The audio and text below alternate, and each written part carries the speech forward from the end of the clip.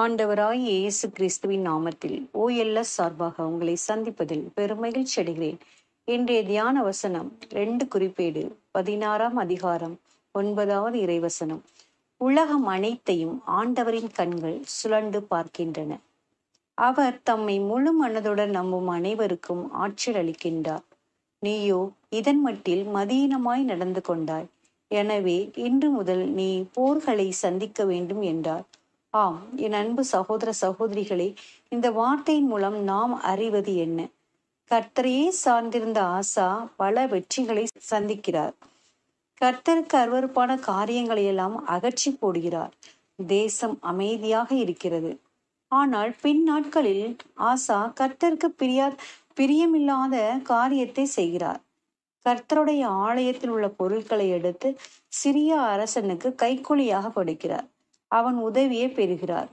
பல நீதிமன்ற வழக்குகளை சரி கட்டுவதற்கு ஆலய காணிக்கைகளை செலவு செய்கிறார். இந்த செயல் அனைத்தும் ஆண்டவரையும் அவரது ஆலயத்தையும் அவமதிப்பதாக உள்ளது. மேலும் ஆசா செய்த தவற்றை அனானி சுட்டி காட்டிய போது மனமாறி தேவனிடத்திற்கு திரும்பாமல் அவரை சிறையில் அடைக்கிறார். ஆசா பல போர்களை சந்திக்கிறார் வீழ்ச்சியடைகிறார். ஆம் பெரியமானவர்களே ஒரு சகோதரன் தன் நகைக்கடையை கவனித்துக் கொள்ள ஒரு நம்பிக்கைக்குரிய சகோதரரை வேலைக்கு அமர்த்துகிறார். அவரும் கடவுளுக்கு பிரியமாக வாழ்பவர். உண்மையாய் வேலை செய்கிறார். குடும்ப தேவைகள் அதிகமாய் இருந்தாலும் தனக்கு கிடைத்த வருமானத்தை வைத்து திருப்தியாக வாழ்கிறார். ஒரு நாள் மற்றொரு வியாபாரி நகைக்கடைக்கு வந்து தனக்கு அதிக நகை வேண்டும் அதை குறைந்த விலைக்கு தர வேண்டும் உரிமையாளருக்கு தெரியாமல் தர வேண்டும் என்றும் அந்த பணத்தை உரிமையாளருக்கு தெரியாமல் அவரே வைத்துக் கொள்ளவும் சொன்னார். இது கடையின் உரிமையாளருக்கு தெரிய போவதில்லை என்றும் சொன்னார். ஆனால் அந்த நம்பிக்கைய நம்பிக்கைக்குரிய சகோதரர் உரிமையாளருக்கு தெரியாமல் போனாலும் என் ஆண்டவரின் கண்கள் என்னை பார்த்து கொண்டே இருக்கிறது. என்னால் ஒரு நாளும் தவறு செய்ய முடியாது என்று கூறினார். கர்த்தரின் கண்கள் பூமி எங்கும் உலாவிக் கொண்டிருக்கின்றன. வானம் அவரது சிங்காசனம் பூமி அவரது பாதப்படி. அவருடைய பார்வைக்கு ஒன்றும் தப்புவதில்லை. மனிதனோ முகத்தை பார்க்கிறான் ஆனால் ஆண்டவரோ உள் எண்ணத்தை அறிகிற தகப்பன். அவரிடம் யாரும் தப்பிச் செல்ல முடியாது. நாம் செய்கிற செயல்களை அவர் அறிவார். நம் செயல்களை ஆண்டவரிடம் ஒப்படைக்கும் போது அதை வெற்றியாக மாற்றுவார். அவரிடம் எந்த ஒளிவும் மறைவும் இல்லை.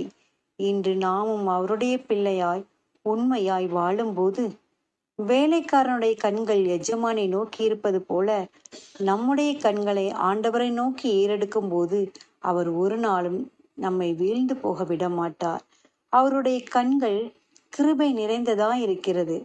அவருடைய கண்கள் நம்மை ஆராய்ந்து அறிந்து தெரிந்து கொள்கிற கண்களாகவும் நமக்கு கருணை காட்டுபவைகளாகவும் இருக்கின்றன.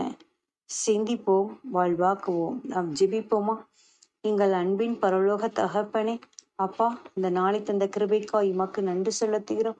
ஆம் ஆண்டவரே அப்பா உம்முடைய கண்கள் பூமி எங்கும் உள்ளாவிக் கொண்டிருக்கிறதே சுவாமி. ஆம் ஆண்டவரே எங்களையும் உச்சி நோக்கு பார்க்கின்றதே அதற்காய் உமக்கு நன்றி செலுத்துகிறோம். ஆம் ஆண்டவரே நாங்கள் எந்த நேரத்திலும் எந்த நிமிடத்திலும் எந்த தவறும் செய்யாமல் பரிசுத்தமாய் ஜீவிக்க அப்பா உம்முடைய கண்களை அப்பா எங்கள் மீது நோக்கமாய் இருக்க செய்யும் சுவாமி. ஆம் ஆண்டவரே அப்பா நாங்கள் ஒரு நாளும் பின்னடைந்து போகாமல் என் தேவனை நோக்கி பரிசுத்தமாய் ஜீவிக்க நீங்க உதவி செய்யுங்கப்பா. ஆம் ஆண்டவரே ஓ நாங்கள் செய்யும் ஒவ்வொரு காரியங்களையும் உமக்கு உகந்த உமக்கு பிரியமாய் செய்ய நீங்க எங்களுக்கு அப்பா உதவி செய்யுங்கப்பா. ஜெபங்களெல்லாம் மீட்பரும் அருமை ரட்சகருமான இயேசு கிறிஸ்துவின் மூலம் ஜெபிக்கிறோம் எங்கள் நல்ல பிதாவே. ஆமேன். இந்த நாள் ஆண்டவரின் சித்தத்தை செய்ய காத்திருக்கும் பிள்ளைகளாய் வாழ உங்களை வாழ்த்துகிறேன். Price Lord